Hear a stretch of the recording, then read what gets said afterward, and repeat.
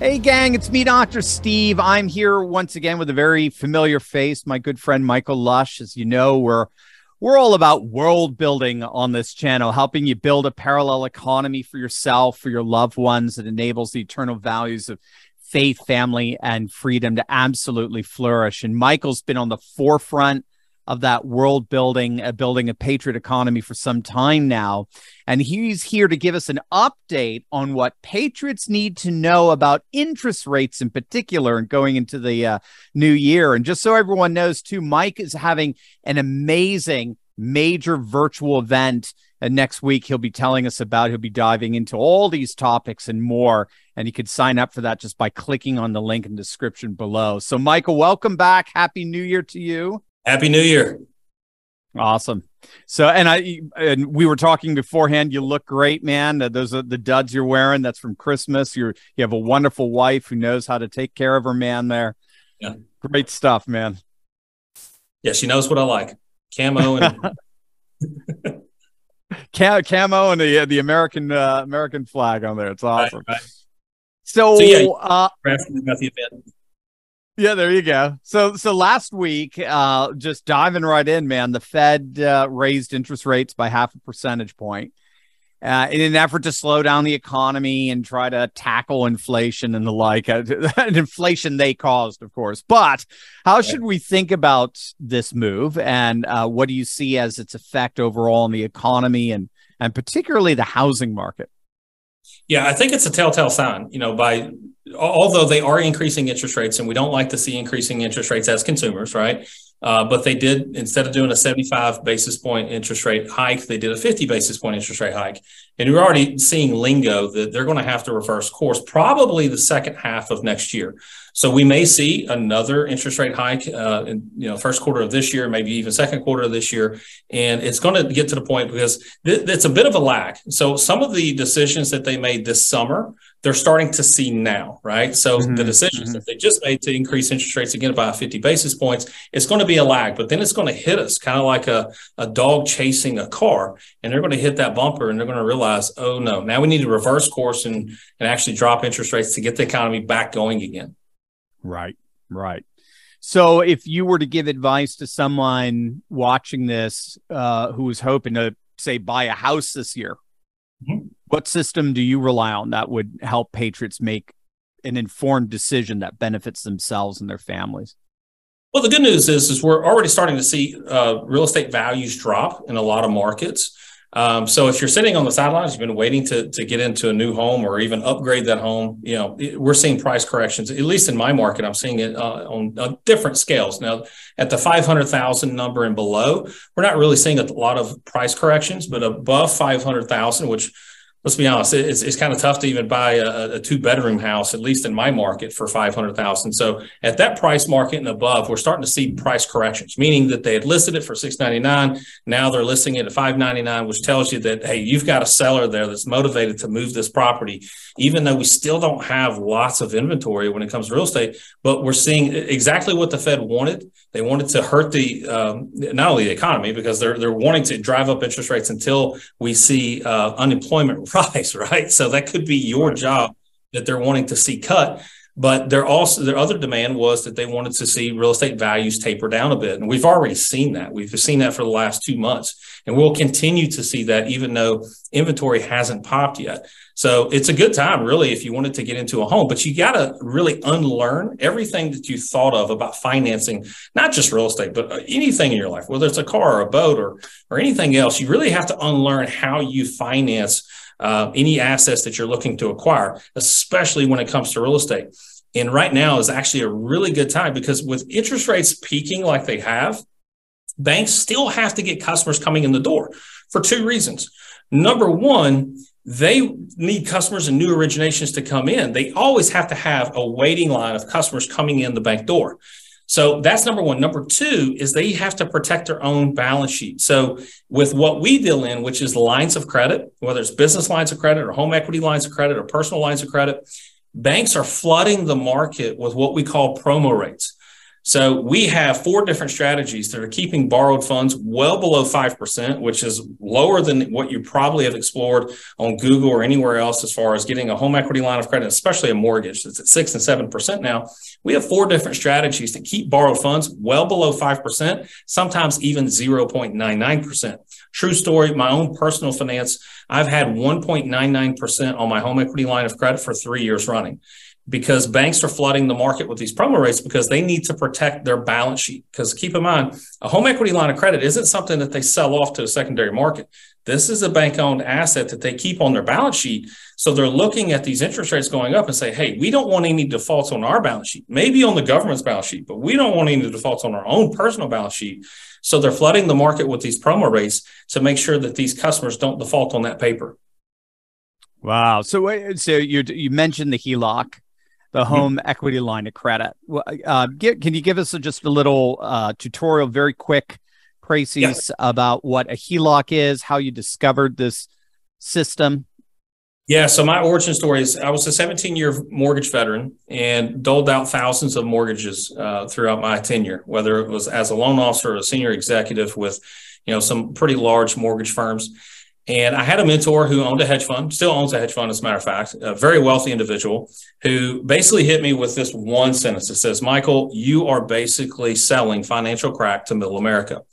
Hmm. And the reason why he specifically said middle America is the poor can't afford it. So think about it. if you're poor, you can't afford a mortgage, you don't qualify, right? And then mm-hmm. on the upper end, the rich, they don't use it. So that was really what kind of piqued my interest. Like, okay, I'm selling financial cracks. So you basically call me a dope dealer, and I've basically sold tons of dope to thousands of Americans across the country. So what what are you doing? And I assumed he said we pay cash for everything. But that was absolutely not the case. They still utilize other people's money, right? You know, we, right. we always visualize and contextualize that rich people are smart. And to a certain degree, they are. That's how they got their wealth. But right. the success always leaves clues. And what he explained to me was we still use other people's money, but a mortgage is a very archaic, inefficient way of financing real estate. So what we use is lines of credit, simple interest lines of credit. That way we can focus all of our cash flow towards this line of credit, but still remain liquid. And that's what we'll talk about next week in our virtual event from January 9th to January 14th is what we've laid out as our blue our, our, our bulletproof financial system. And it really breaks down into five categories. Uh, and it's, it's a, these categories are designed and it's a pathway to create your own economy, your micro economy. That way you're resistant to inflation, interest rates, and all these other external factors, right? So number one is how do we find the buried treasure? We call it the buried treasure detection system. So, you know, early on in, in, in 2008 and 2009, I was house rich, but cash poor. So I had all of my money trapped up in my real estate. And what it led to was lost opportunities. It also led to some financial heartache too, because I, again, I was house rich, but I couldn't access it. Right. However, I had a buddy and a mentor that was utilizing a totally different system than I was as the mortgage planner. Uh, he had capital for both opportunities and life events. So I was having a life event happen to me, but I wasn't liquid. And had I been liquid, I could have not only weathered the storm, but I've also could have capitalized on those opportunities because we all know 2008, 2009, there was a lot of foreclosures. Well, if I had access to the capital in my home, not only could I have afforded my home in a more efficient way with my current income, but I could have actually leveraged it to purchase other homes for a discount, right? right so there's right. really two sides of that coin in the buried treasure detection system. Number two is you've got to replace your cash flow. And we call it the replace your cash flow system. So my cash was actually losing value by sitting in a bank account daily, right? Because when we walk in the bank, you look to the right, the banker says, here, deposit your funds at 0.24%. And you look to the left, the loan officer's over there says, here, borrow money from us at 5%. percent mm hmm And we never put two and two together, realize that this person that we just gave at 0.24% is walking over and handing money to this person who's giving it back to us at 5%. Yeah. And what the result is, is a guaranteed negative 3,600% rate of return, a negative 3,600% rate of return by financing real estate this way. So we have to start thinking like a banker. However, my buddy, he had cash that was liquid and it could be in two to three places at the same time. This is what we call mirroring, right? So, Steve, if, if I handed you a dollar, and you put that dollar into something that's earning interest, wouldn't it be cool if that dollar is not only earning interest over here, but you could put it in one to two other places that are also earning interest, the same money, right? And I know hmm. it sounds like sorcery, but it's actually what the wealthy do. And it's what we will explain coming next week on January 9th at our virtual event. Then number three is our debt ninja system, right? So I was using an archaic, inefficient debt tool like a mortgage that we've talked many times on, on your podcast and in your, your YouTube videos. It's a death pledge.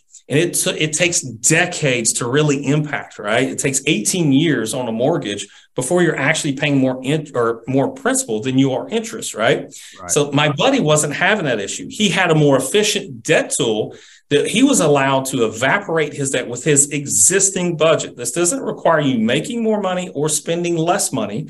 So not only was he evaporating his debt, but he was actually growing his net worth at the same mm. time, utilizing this debt ninja system. Number four is the asset acquisition method. So what I was doing in 2008, 2009 was I was acquiring liabilities, right? But if you have access to this capital using step number one, what my buddy was doing and my mentor, he was using the debt ninja system to acquire cash flow assets, right? So it doesn't have to be, you know, a, a real estate. It could be insurance. It could be a lot of things. So he was leveraging his cheap cost of funds and using arbitrage, again, thinking like a bank to acquire assets that actually paid him monthly dividends. And then five is how do we protect this? And we call it the bulletproof financial system. So my capital or lack thereof at the time was exposed to external factors. You know, we look at 2022. What happened? A lot of people with a 401k, IRA, probably had a ding of anywhere from 20 to 40%. Yeah. Right. Yeah. Now, obviously, yeah. you shouldn't cash out because that makes you a guaranteed loser. You're probably trying to weather the storm, but nonetheless, you have interrupted compounding interest because your money value just dropped. So that was my situation. However, my buddy's situation was he had capital that was liquid, but also growing at the same time, despite what the market was doing, despite what inflation and what interest rates were doing. So those are the five steps that we'll go over next week, starting January 9th. That, it sounds amazing. So holistic as well in terms of building it microeconomy you're talking about. Uh, I mean, it seems like everything you're saying here seems like a no brainer. So, what, what, why aren't more people taking advantage of all of these amazing opportunities? Yeah, two things. Number one is fear. You know, really where the fear comes from is a lack of confidence because there's a lack of education. That's what we're going to uncover in this event is we're going to give you those nuggets and that value so that you can push forward in 2023 with confidence. So fear is number one. Number two is time. You know, people they don't want to spend hundreds of hours or thousands of hours researching this topic to try to learn it for themselves. So what we've done is we've kind of collected it and condensed it for a third grader to understand because any of the math that we go over, it's going to be third grade level math. We're not talking calculus or algebra. It's very simple math and very simple tools that the average person can get access to. You don't have to be elite. You don't have to be rich to gain access to these tools that these banks have, but it's a collective system that you have to learn. There is no one tool that is the magical elixir. So we got to put all these pieces together and create a system that all complement each other. So, what does a person do to to uh, to participate? And you said it's a five day event. Can you get just uh, flesh that out a little bit more? Yeah. Yes, but I, I don't want to. I don't want you to think, oh my goodness, who has five days to devote to this? So it's going to be at 5 p.m. Central Standard Time. It's going to go for one hour, right? So each day on Monday, Tuesday, Wednesday, Thursday, and Friday, it's one hour. So I'm going to ex- expose the entire banking system, how the rich use their money, how they protect their money, regardless of what the economy is. And on the, after the hour, we're going to do a one hour Q and A. So you're only looking at five total hours of information to consume to really set you mm-hmm. forward in 2023 and really hit those financial goals that you've been holding off for decades. Wow. Well, as you can see, gang, you're not going to want to miss this. Uh, click on that link below, sign up. Seating is limited. Okay, gang. So don't wait on this. You want to do this right now. Click on the link below, sign up for Michael's virtual event uh, throughout the entire week. It just sounds absolutely amazing. Uh, date and time once again for the first meeting, Michael. Yeah, January 9th. And again, one of the reasons why to do a virtual event, we've done physical events, you know, Salt Lake City and things of the nature where people have to fly in, get a hotel room. You're spending thousands of dollars to consume this information. I wanted more impact this year. So we went to virtual events where you can literally just click on that link. It's $97. You don't have to get a hotel room. You can do it from your living room. You don't have to get flights and things of that nature. We don't have to worry about food and catering. So it's 97 bucks to attend this event. And we're only asking for one hour of your day after the workday at 5 p.m. Central Standard Time. Awesome. Absolutely awesome, gang. If you're wanting to make 2023 the year you build your own personal parallel economy, this is it. You're not going to find anyone better than Michael. He's a good friend of mine, and I, I wouldn't trust anyone else to this. So, Michael, thank you so much. Can't wait for next week. It sounds like it's going to be a great event, and you're going to be uh, blessing a lot of lives. Thanks, Steve. I appreciate it. Y'all take care. God bless. And God bless you, man.